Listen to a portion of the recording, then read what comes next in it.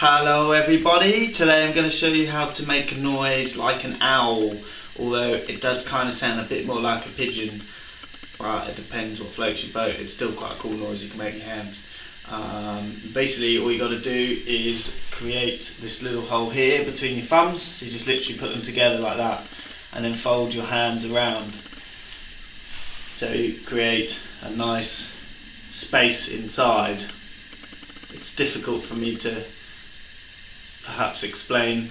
I guess you could just go like a butterfly, flap those fingers in so it touches on the top of your hand there and then fold the rest of the fingers in so you get an airtight sort of a hole and then when you blow across the hole just like you would the top of a bottle then you get the noise.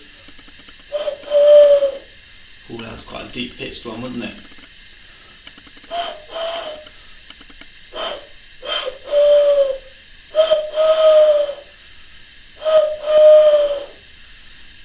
Sure pigeons make similar noises to owls.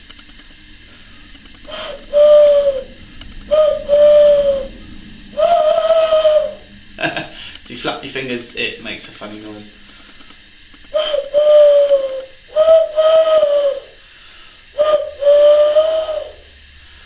There you go, thanks for tuning in.